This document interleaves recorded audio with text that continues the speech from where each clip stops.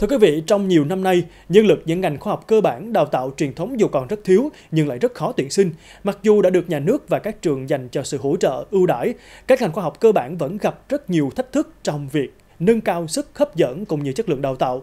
Ghi nhận của phóng viên thời sự Đà Nẵng TV tại trường Đại học Sư phạm thuộc Đại học Đà Nẵng.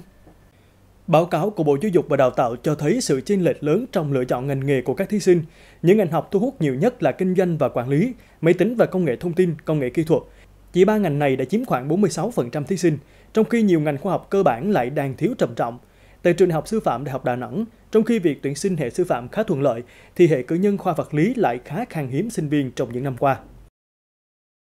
Điểm nghẽn trong cái việc là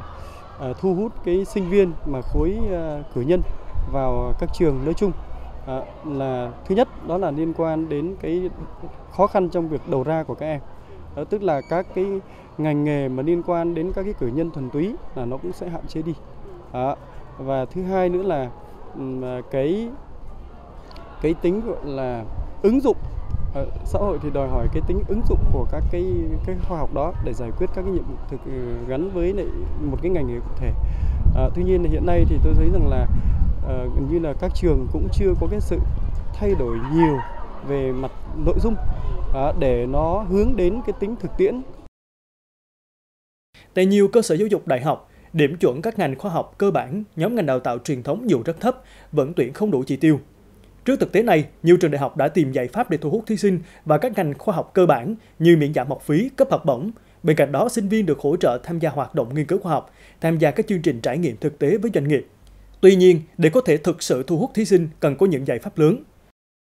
Năm 2021 thì chúng tôi đã dành 19 suất học bổng trong cái quỹ của quỹ học bổng truyền cảm hứng của nhà trường. Nhưng mà thực sự là câu chuyện ờ, sau khi chúng tôi triển khai thì ờ,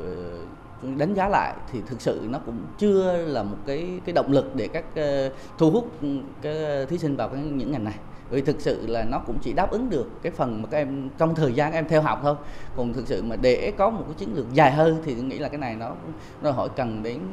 cái cái cái, cái, cái chủ trương lớn của của, của đảng của, của chính phủ kia. Sau khi có những chính sách hỗ trợ, số lượng sinh viên ở các ngành khoa học cơ bản của trường đại học sư phạm Đại học Đà Nẵng có tăng nhưng không đáng kể. Tuy nhiên, các chuyên gia đào tạo xác định